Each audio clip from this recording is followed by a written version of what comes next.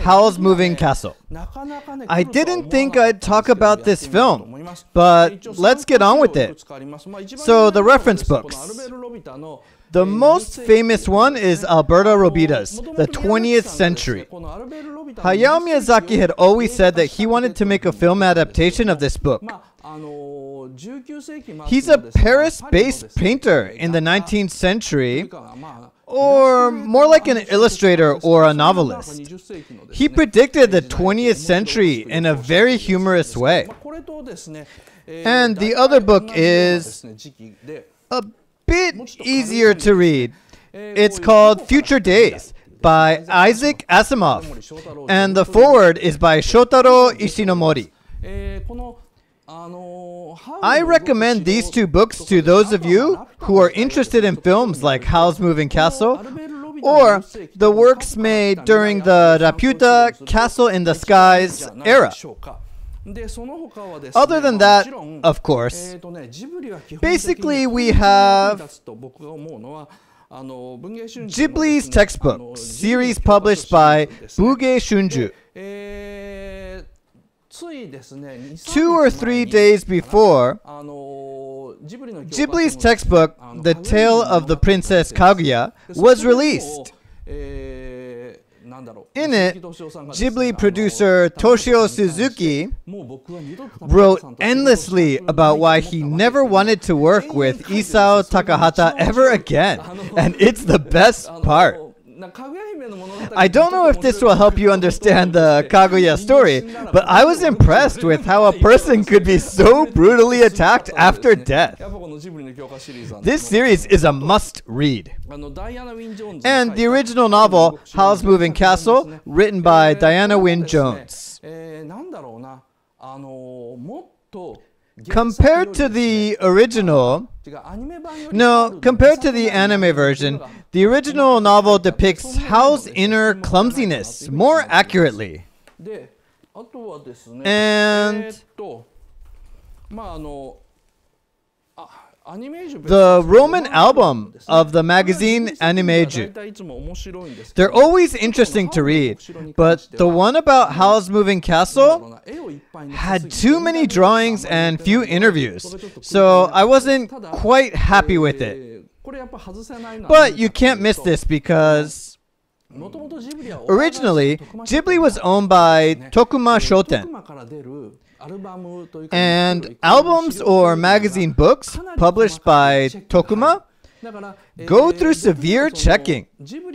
I personally think if the publications of Ghibli were the number one source, the publications of Tokuma should be the number 1.5 source. So, the terms I use here are mostly based on the Roman album published by Tokuma. And lastly, this is a storyboard of the Howl's Moving Castle. You've just got to buy this. You'll notice a lot more details by looking at it, and that makes a huge difference. So, if you're not satisfied with the Miyazaki film, you should look at the storyboard. Today, we'll look at the storyboard and talk about the film step by step. Originally, Hosoda was assigned to direct Howl's Moving Castle as his debut film. You can still see some of his drawings. It was drawn for Ghibli's film, Howl's Moving Castle, and it is labeled Part A. And it's about two thirds of the whole thing. Hosoda claims that he was sacked, while Miyazaki says the crew ran away. That they broke up, whereas Suzuki never gave a clear answer. So it remains unclear. I was interested in Hosoda's version, so I expanded the storyboard to see how he did it. And when you look at it,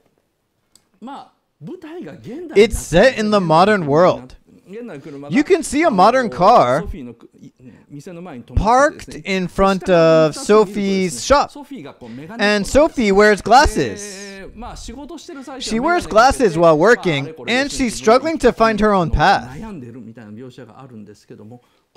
And it's not bad at all. It might have been more interesting to set it in the modern world. Because this piece, uh, I describe this piece as Ghibli's first mop up picture film. Because it was unpopular in Europe.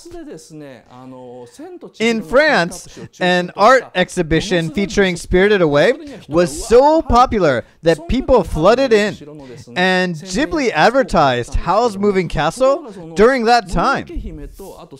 However, compared to The Princess Mononoke and Spirited Away, Howl's Moving Castle was unpopular. Well, slightly unpopular. The reason for that is because it wasn't a story about Japan. Europeans wanted to see the modern Japan through Hayao Miyazaki's lens. They felt let down by an imitation of Western culture. Miyazaki was very disappointed by this response. Since Hosoda's version was set in the modern world, maybe things would have been different if they had adopted his version. Even Miyazaki wasn't sure whether he should take it to Europe. For instance, he didn't know what to do in the first scene where Sophie goes to town. In Europe, in the 19th and early 20th century, women never moved their arms or shoulders. So he made her walk with her upper body still. But that made her look a bit cold. So he decided to make her walk like modern Japanese people with both of her arms loose. But eventually, some people actually complained to Miyazaki's chagrin. I wish Ghibli published the whole storyboard of Hosoda's version, but Ghibli's so strict about disclosing this information. Next opportunity will be when Miyazaki dies. And the last opportunity will be when the producer Suzuki dies. Oh, we don't have time for all this.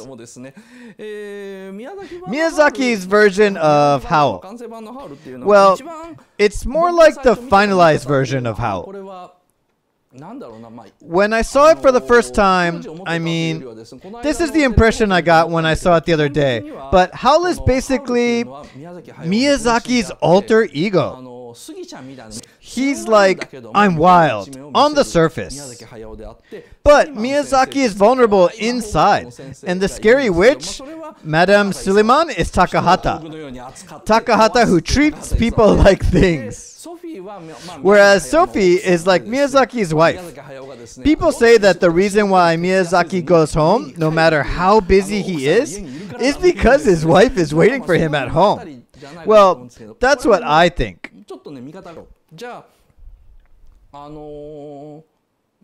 First, I must talk about He's a devoted husband?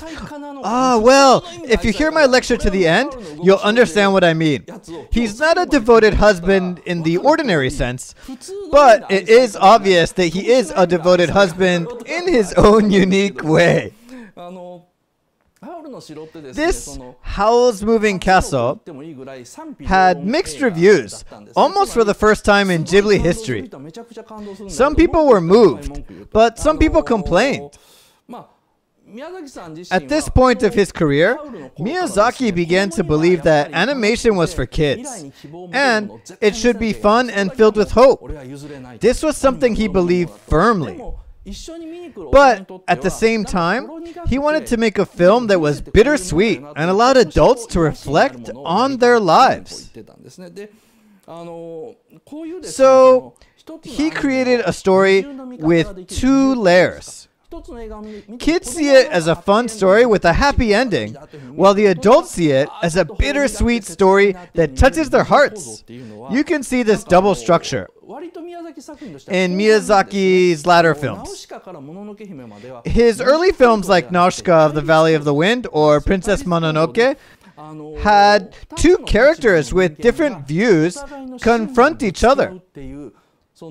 It's like the idea of communist revolution that Takahata loves. Miyazaki adopted thesis, antithesis, synthesis into his story. So, Princess Mononoke is a story about a conflict between the world of Mononoke and the human world, and shows the impossibility of their coexistence. Just around the time he made Spirited Away, the double structure emerged.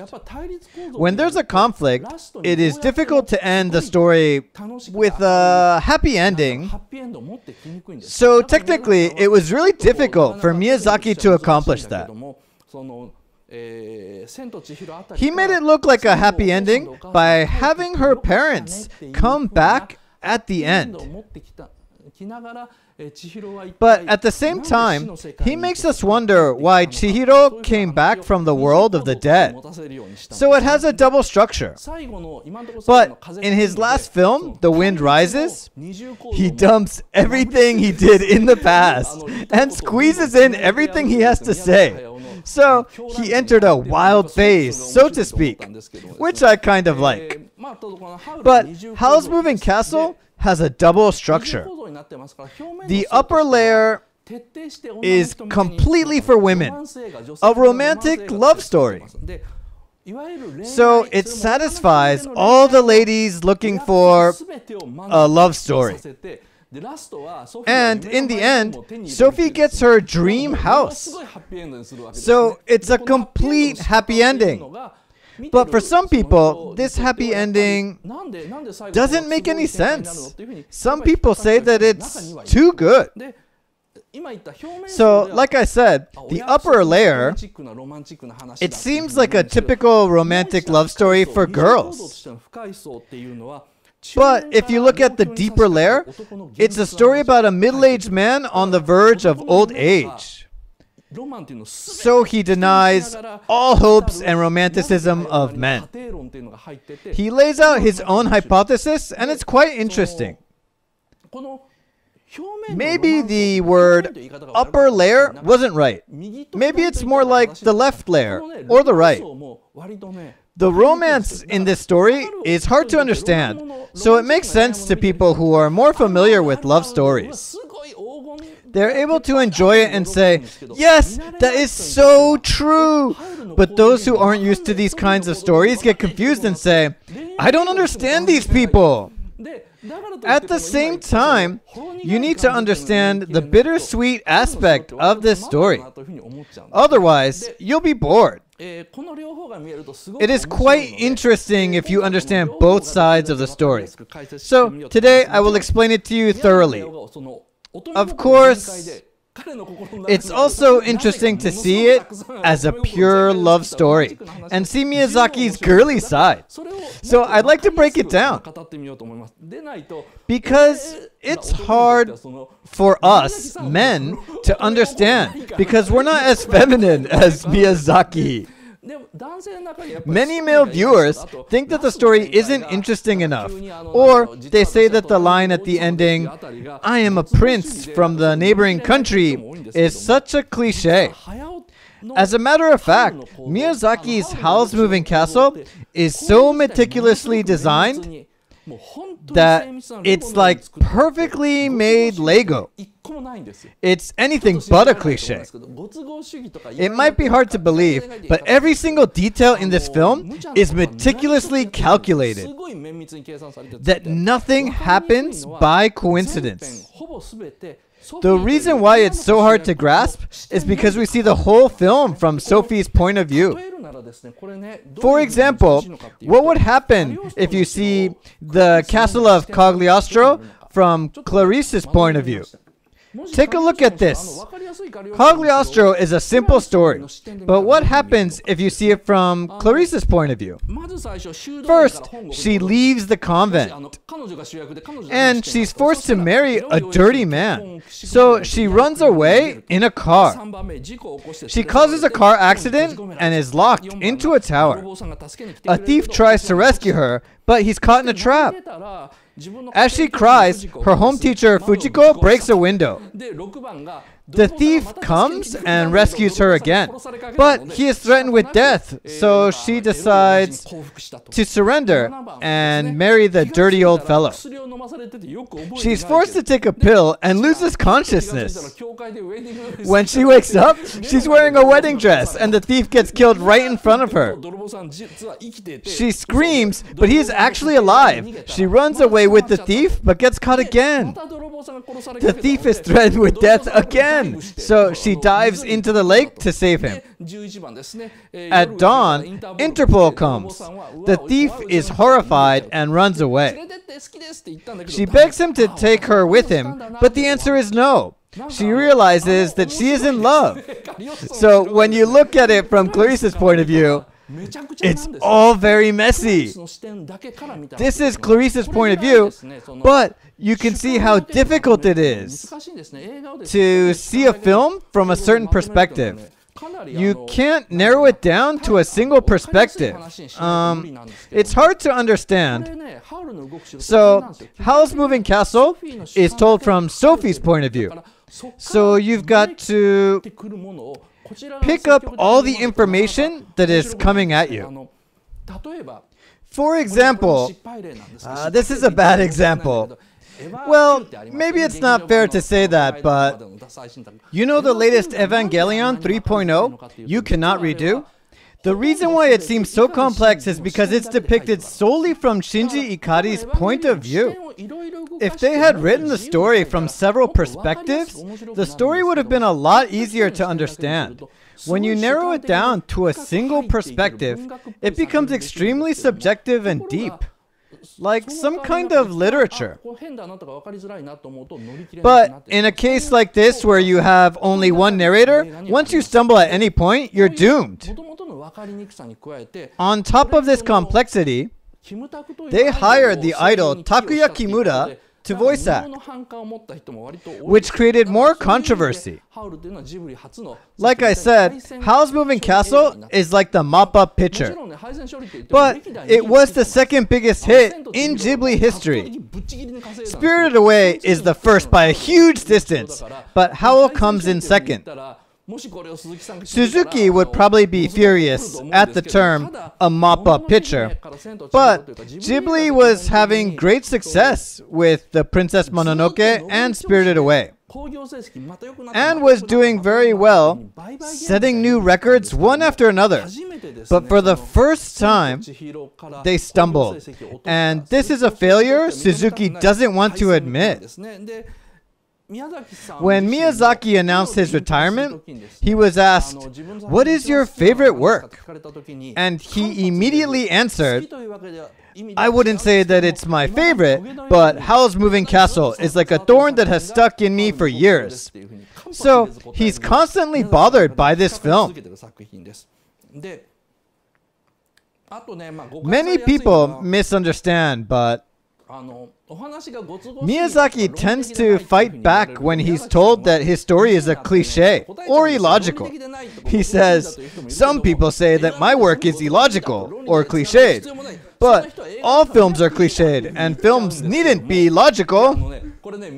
Well, this is more like the nonsense of a stubborn old man. Because Howl's Moving Castle is logical to the extreme. It blew me away when I did the analysis myself.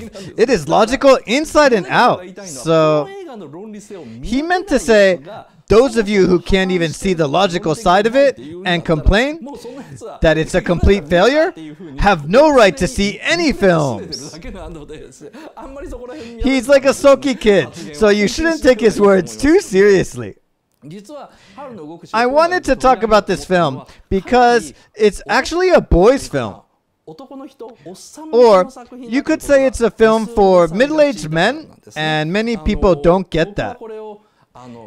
I liken this to the last scene of the Castle of Cagliostro, where Clarice says, Take me with you. I'll learn how to be a thief. This film depicts what would have happened if Lupin had taken her with him. At the same time, it's also like Puella Magi Madoka Magica. if you watch the last scene of the TV version. From a different perspective, it's almost like Howl's Moving Castle. I want you to know that Miyazaki actually did something quite amazing.